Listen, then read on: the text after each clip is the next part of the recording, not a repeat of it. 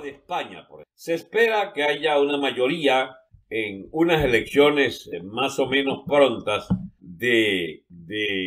en una nueva situación de, España, donde haya una, unas elecciones generales y se da por sentado que ganaría. El primer partido sería el PP, muy cerca también el segundo partido podría ser el PSOE y un tercer partido que ya lo es sería el, partido Vox, VOX, de Santiago Abascal, que viene creciendo sistemáticamente y que no sería extraño que pasara a ser primera fuerza, pero conservando una dosis muy alta de escepticismo sobre la evolución de la conciencia política de los españoles, podríamos decir que Vox tiene garantizado hoy por hoy un tercer lugar mucho más sólido que el actual, tiene actualmente unos 50 diputados, 52, 53 diputados. Eh, Vox pudiera ser un partido de 70, 80 diputados. Eso le acercaría pues al segundo y al, primer lugar, que estarían en el orden de los 130 y, y 80, 90 diputados,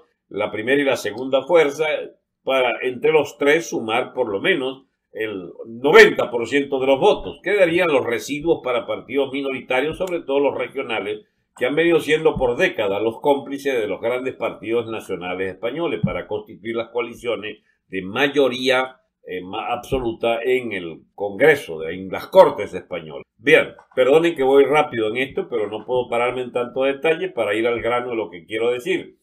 Vox debería ser quien gobierna España si los españoles quieren una ruptura con cuarenta y pico de años de eh, lo que podríamos llamar el consenso socialdemócrata, el consenso progre, del que eran parte no solo el Partido Socialista de Felipe González, del izquierdista Zapatero, eh, sino también el propio Partido Popular, heredero de aquella UCD de Suárez y de los franquistas de Alianza Popular, que permitieron la transición española, es decir, dejando la monarquía después de Franco y constituyéndose en garantes de la, de la Constitución del 1978 que ha gobernado, que ha regido España hasta hoy. Mucha gente esperaría que sea Vox el partido que vaya a primer lugar. Y es allí lo complicado. Porque si Vox va a primer lugar, entonces estamos en una, ante un cambio drástico. Ojalá fuese posible ese cambio drástico. Porque Vox, por ejemplo, plantea el fin del llamado Estado de las Autonomías, es decir, esa tendencia centrífuga donde cada región de España siempre busca, eh, digamos, dejar exangüe, dejar exhausto el, Estado español para transformarse en una especie de federación de autonomías, de federación de localismos y sobre todo de concesiones de todo tipo a, a cada minoría que se inventan para arrancar un pedazo del presupuesto nacional de España. Y en su conjunto algo tienen en común, todo ese consenso progres, ese consenso socialdemócrata que incluye entonces el Partido Socialista y el Partido eh, de la derecha española, de la derecha tradicional, del, del llamado Partido Popular,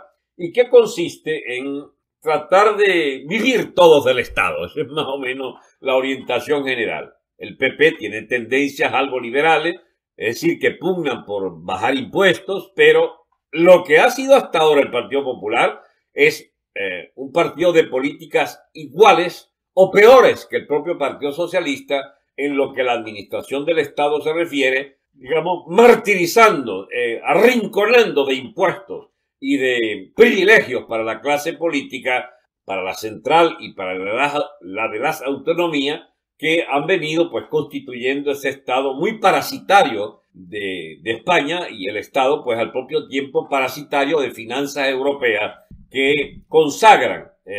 la,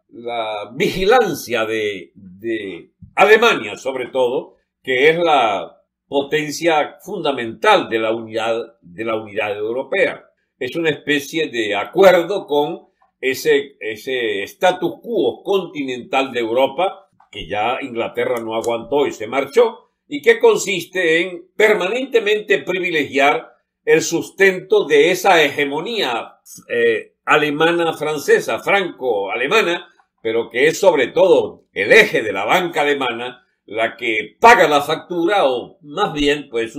usufructúa el manejo de las finanzas eh, comunitarias de Europa, eh, generalmente otorgando créditos y concesiones para un presupuesto cada vez más abultado de esas burocracias estatales y también para esas burocracias autonómicas de una España que le estimulan incluso esa fragmentación interior para que sea más débil frente a estados mucho más centrales como el francés o el, o el alemán. Miren ustedes la situación que se encuentra Grecia, postrada, o la propia Italia, este, aspirarán, me imagino, convertir a España en un país ya prácticamente de pedigüeños y de dependientes de esa hegemonía absoluta de Alemania. Esto tiene una, larga historia, mis amigos. Esto no es tan, tan, yo no soy amigo de andar eh, haciendo juicios fáciles, pero esto viene del desmantelamiento del Estado español que dejó el generalísimo Franco y que fue, eh, que coincide el abandono del franquismo con la construcción europea, de la comunidad europea, que ha ido determinando que España se convirtiera en un país desindustrializado en lo fundamental y más bien dependiente de esa especie de presupuesto común para hacer de España un país de servicios, de algunos servicios ligados al turismo, muy poca industria y sobre todo un país obligado a cumplir cuotas bastante mezquinas contra ellos en la agricultura, en la ganadería, etcétera. En fin, no voy a analizar hoy todo, no es el objetivo de este programa, analizar las cuestiones atinentes a la Comunidad Europea, sino más bien detenerme en un hecho político concreto. ¿Puede Vox ser ahora una alternativa de poder? Parece ser que previamente habría que combinar las fuerzas del Partido Popular y de Vox para hacer una mayoría en el Congreso, en las Cortes, después de unas elecciones, donde lo más probable es que el, el Partido Socialista baje un poco o lo suficiente para perder la mayoría, que ahora logra con toda clase de agentes del partido chavista, con lo, eh, ¿cómo se llama? Eh, español, que es el Podemos este que fundó Chávez y Maduro allá en España, con la ayuda del, del coletas aquel de, Pablo Iglesias, que ahora abandonó la política y que dejó por allí por una legión de, de feministas, feminazis y toda clase de vagos este, de la política española y de los segmentos de los nacionalismos estos fragmentarios de Cataluña, de País Vasco, etcétera, y que le hacen mayoría muy precaria, pero mayoría en las Cortes de España, las cámaras, en las cámaras que pueden constituir el gobierno. Entonces, ¿puede el PP ganar las elecciones? Viene perdiendo posiciones. Ya desapareció, de hecho, por ejemplo, en, en Cataluña, y allí surgió con gran fuerza eh, Vox en Cataluña. Pero el PP sigue siendo hegemónico en Galicia, en Madrid misma y en, en, ¿cómo se llama?, en Andalucía. Y eso le da, además de, las zonas del norte de España, y eso le da pues, una preeminencia de principal partido de España. En caso de que falle, de que fracase el PSOE, el Partido Socialista de Sánchez, bueno, en principio subiría el Partido Popular de, este, de Casado. ¿Está Casado dispuesto a hacer un gobierno con Vox con una mayoría entre los dos del 58, 60%. No, no está dispuesto el señor Casado. Viene de la tradición más nefasta del PP, del llamado consenso socialdemócrata, que lo personificó sobre todo el tal Zapatero por el Partido Socialista, que era de hecho apoyado desde afuera por el Partido, eh, el, Partido Popular, el PP, de Rajoy, quien no objetó ninguna de las leyes malditas de la, la llamada leyes de, de, ideología de género, las leyes que casi que, bueno, penalizan la existencia de los varones o que eh, da rienda suelta a la exacerbación, pues, de los nacionalismos fragmentarios de Cataluña y de las autonomías en general. Pues Zapatero vio premiada también su política de, de capitulación ante ETA y de dejar que estos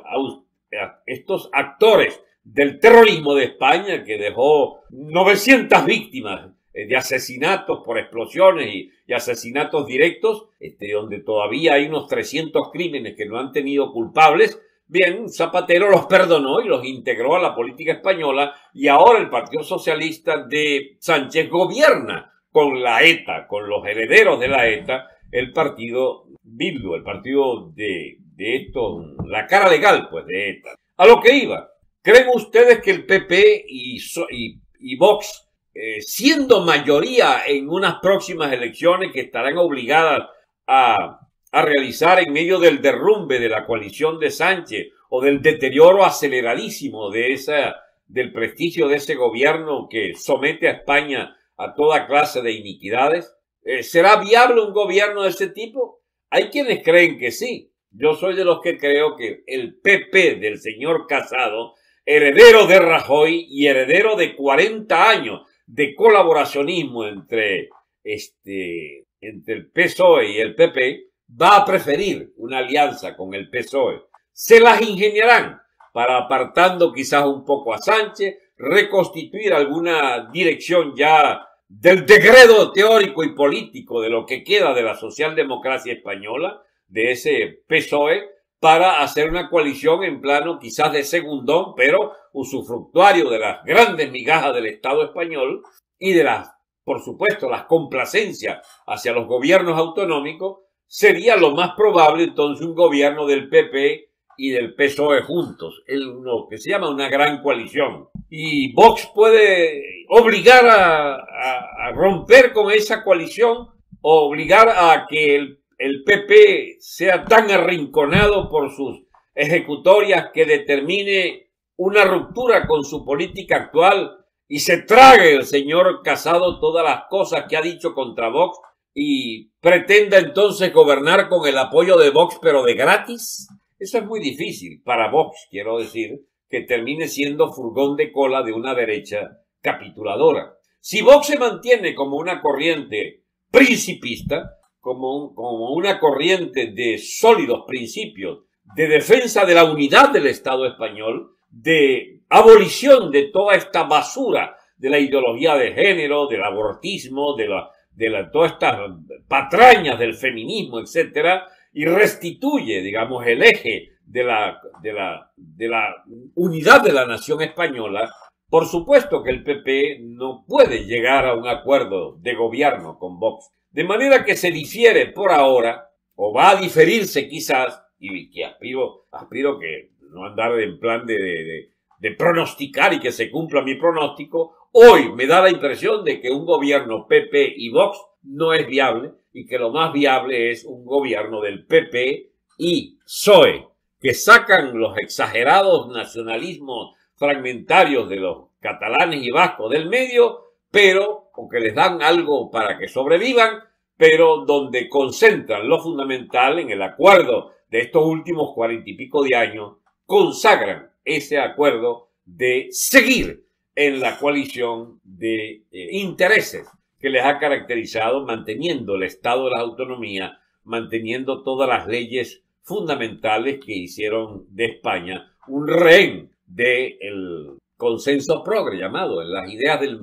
globalismo, del señor Soros, del globalismo de los europeístas que consagran la hegemonía europea sobre el conjunto de las instituciones españolas, porque ese es el tema de España hoy. Sigue España bajo la égida de las aspiraciones cada vez más asfixiantes de la burocracia de Bruselas y de la hegemonía alemana en la comunidad económica europea? ¿O va España a buscar un sitio que reivindique históricamente su condición de potencia individual? Recuerden que España era mucho más que Europa en siglos anteriores y que se dejó poner este, como furgón de cola de los intereses franco-alemanes. Y bien, son discusiones que hay en España, son discusiones que hay en Europa y que seguramente van a, estar a la orden del día en los próximos meses. Cuidado si ya no empieza el tema después de este verano eh, de calamidades para España por la deuda, por el desempleo, por la,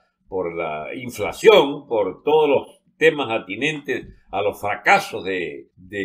a los que llevó el manejo de la pandemia, un ciento y pico mil muertos.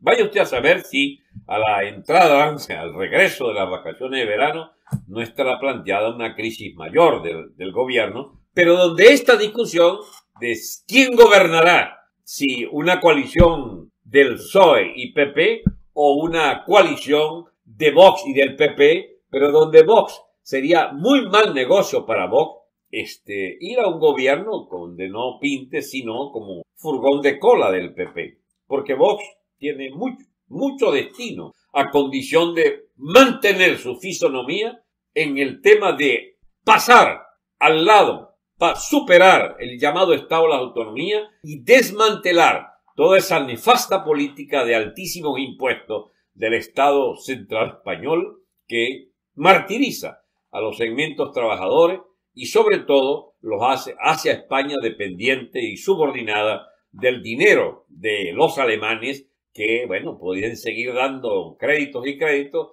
a condición de mantener sojuzgada.